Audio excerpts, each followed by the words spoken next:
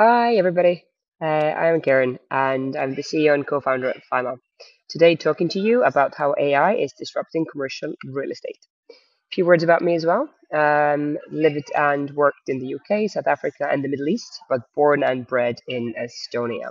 And I studied uh, media and law, and have been working with uh, commercial real estate companies now for a few years with Fyma, uh, which I'll talk about uh, a little bit more about later. However, when we talk about AI and commercial real estate, the first mo- thing to note is that this is the largest asset class in the world. It has always been slow to move and slow to innovate, but it's finally starting to embrace computer vision, uh, AI, machine learning, all the all the components and elements uh, that this field brings with it. Now, artificial intelligence here needs to be seen as an opportunity rather than a threat.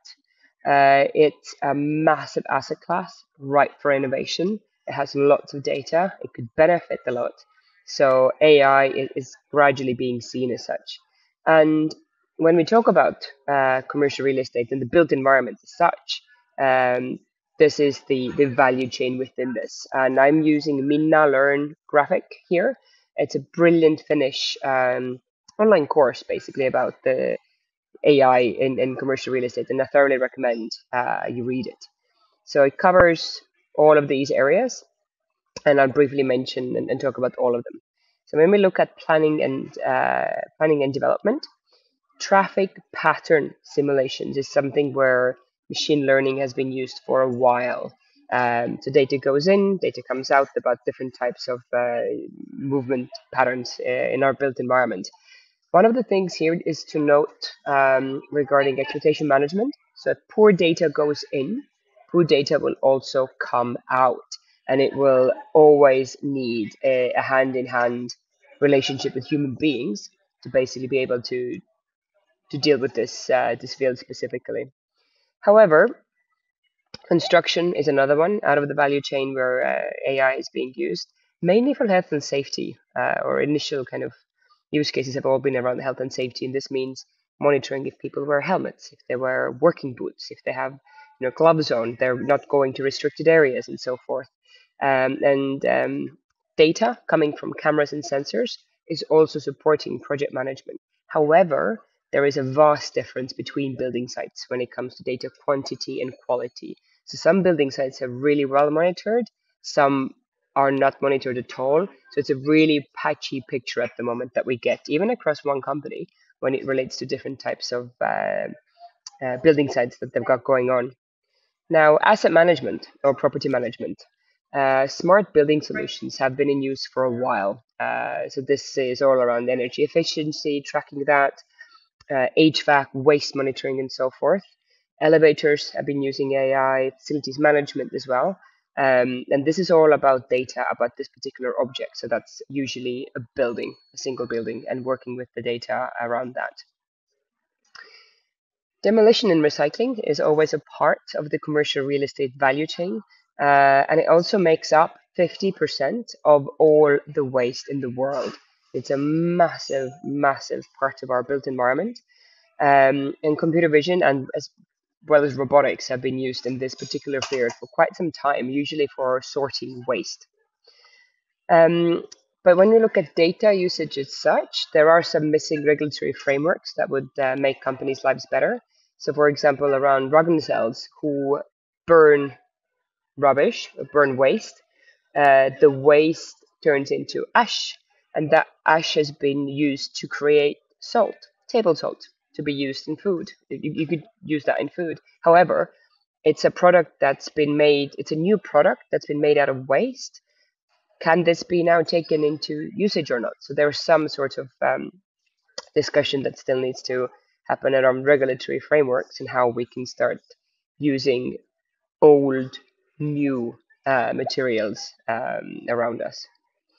Something that uh, Fyma worked on before we became Fyma was actually using AI and computer vision to map global pollution. Uh, so looking at basically uh, Google Street View images where trash is visible uh, and then creating cleanup maps for a cleanup world. So computer vision uh, can be used really well in, in these use cases. Urban planning is another one where data is being used for better analytics, predictions, and investment decisions. Uh, and again, there's a big, big dependence on the quality of data in order to be able to make any uh, decisions around this at all. Currently, it's coming from sensors, believe it or not, manual counting. So Tallinn still counts bicycles manually as a community project. So people are encouraged to do uh, manual bicycle counting, basically, in, in Tallinn rather than use sensors or computer vision solutions or cameras. Uh, obviously, mobile Wi-Fi data are part of that as well.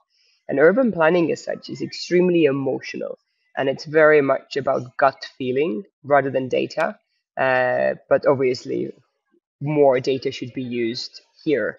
And urban planning is also being disrupted by really large trends um, around us, uh, like the gig economy, which means people want to work and live quite close to uh, where big hubs are so that they don't have to travel as much for work.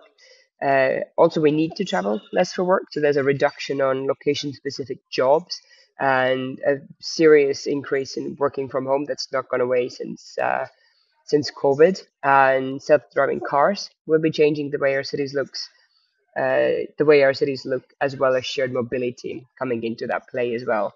So very much a field where machine learning and AI can start making a big, big difference once uh, the reliance from gut feeling is, is moving away from here. Now, the components I just showed to you, the, the components of this value chain, they're linked by the fact that data in all of these value chain components, the usage of that data, it's still uh, very limited. So all, all of these areas that I just discussed and, then briefly showed, generate lots of data, but the data usage is in its infancy and it's very ripe for innovation because AI is all about data, looking at patterns, working with it, and, and so forth. Now, ChatGPT, uh, big recent uh, innovation that's come out, um, and I tasked it with um, with a brief. So basically, give me a brief for an interior designer, uh, and I have a small shop uh, that sells soap and body products. So this is brilliant in terms of what it spits out. Uh, and you can use it for anything from specification writing to to more creative tasks as well. But also the data can be fed into ChatGPT, the same data that comes from all of these value chains to make better sense of it and, and create insights, thus limiting the reliance on human analysts, uh, basically. There's another component here, but I'll skip over this. However, when we look at DALL-E, and I wanted it to basically create a shopping mall plan for me with two entrances, two elevators, two floors, and six shops, it does a really poor job of it. So it doesn't really know what it what it um, what it needs to be producing here.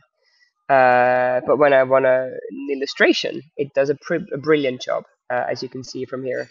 And then obviously renderings from generative AI uh, tools also look look beautiful, whether they're buildable or not. Uh, I'm not an architect, but there are some great rendering tools uh, out there using generative AI. A few words about Fyma as well, because I didn't mention what we do.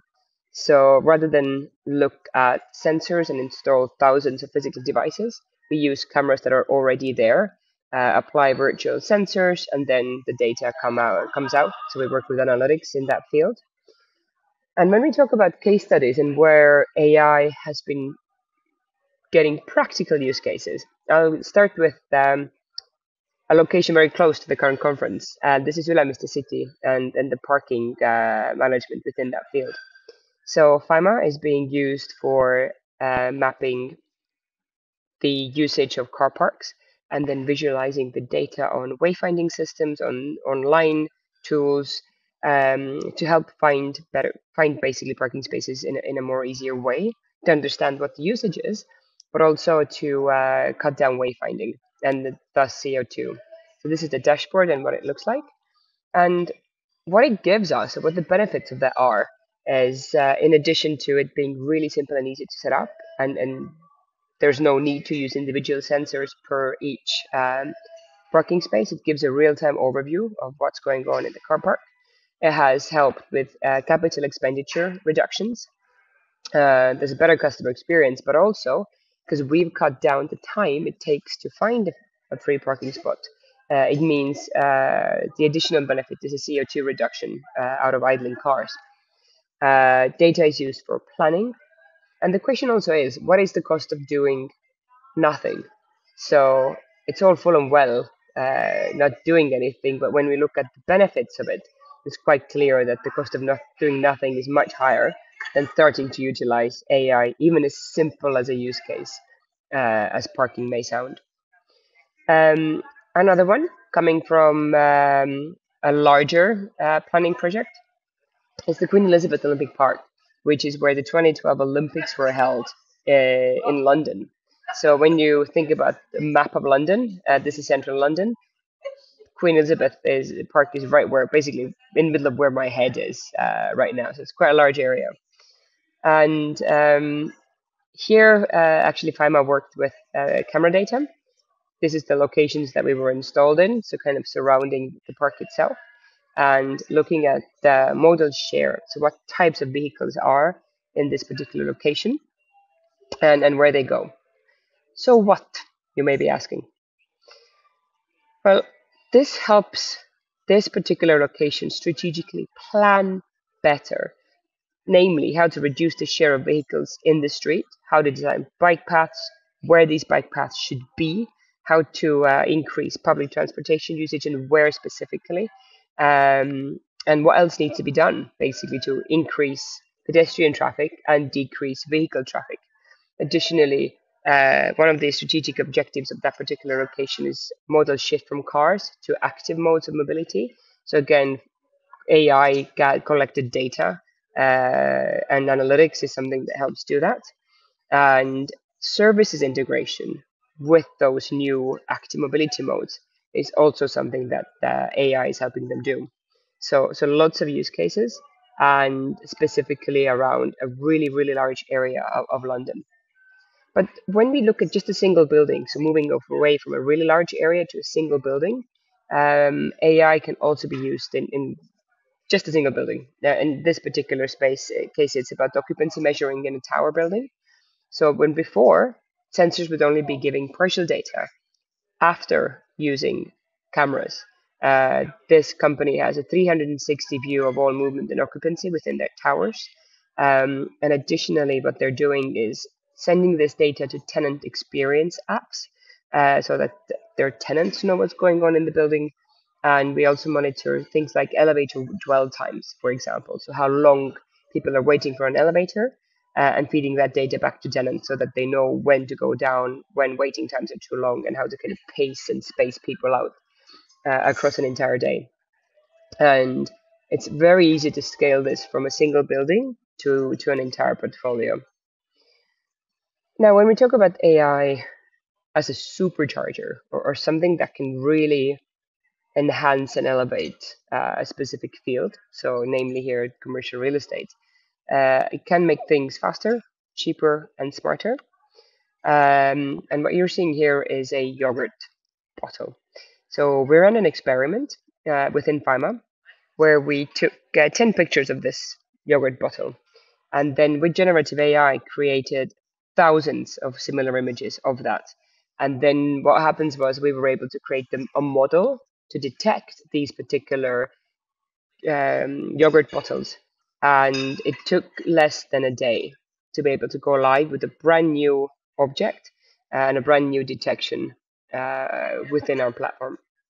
So, what this has meant in terms of for a company, uh, in terms of uh, clients, and, and why this sort of generative AI usage is is a supercharger is the fact that now we're able to generate images using um, DALL-E. So all of the stuff that you see currently on page are synthetically created images. So this means that data collection doesn't any longer take months. It literally takes a button click.